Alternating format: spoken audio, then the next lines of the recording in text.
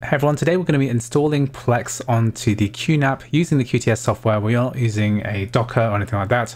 We're just going to install bare metal app center and install Plex and get this all set up. So I've already set up my QNAP NAS using six hard drive bays, two solid state NVMe drives, and a RAM upgrade up to 16 gigabytes. If you want to find out how to do that, then I'm to leave a link to my previous tutorial video in the description. So first thing I want to do is to make sure that we are logged into our QNAP. If you don't know how to do this, then please follow the link in the description for the full setup process. And then once we're in App Center, what we're going to do is to do a search for Plex. We can find this under Entertainment and also find Plex Media Server here. And what we want to do is to set this up so that we can view content on other devices. And then that is going to be our server for that. So I'm going to press the install button here. This is a third-party app. I'm going to press agree. And then this is going to start the install process. So that's nearly done, 80%.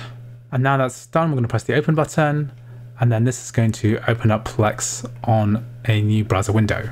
So if you've never used Plex before, then what you should do is to create an account. I'm going to create one with my email address. If you have an existing account, just type it in here with your password, or you can press the sign up with email button at the bottom. So now that we've signed in, we can go into our Plex server. So this is going to have the same IP address as our QNAP server, and it's going to authenticate. So if this is stuck for any extended period of time, just refresh. Now we have our username list, press user. It's giving us some basic instructions, press got it.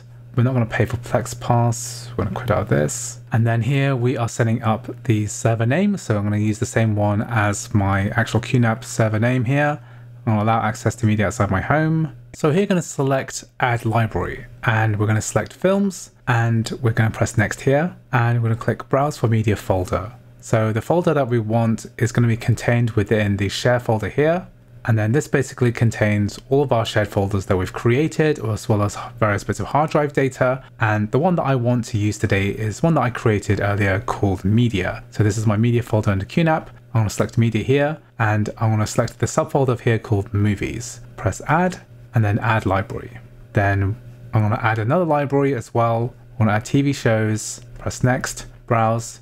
I'm to find the same folder as well under share, and then under media, then I'm going to select TV here, press add. Click add library, then we're going to press next. So this is going to add two subfolders, films and TV shows, press next, and then press done. Press next. Here I'm going to click finish setup. I'm going to disable this. And if we look at our films folder here, we have various films that we have added here. If I click on, let's say, 1917, that's pulled from media, and we can see that these four films have been added and they have been added onto my QNAP here. So I can stream these or this will also happily transcode as well. So this is Plex playing from my QNAP. So that's the very basic setup on how to get Plex working through QNAP on a Mac. I hope you found this video useful. If you did, please like, please subscribe, and I'll see you in the next video.